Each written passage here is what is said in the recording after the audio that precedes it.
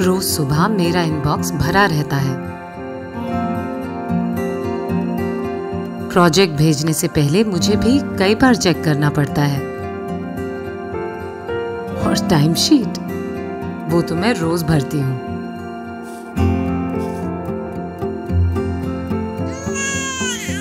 Boss का बुलावा आते ही कभी कभी मेरा भी लंच स्किप हो ही जाता है। टारगेट अचीव करने का स्ट्रेस मुझे भी होता है। और ओवर टाइम तो समझिए रोज की बात है।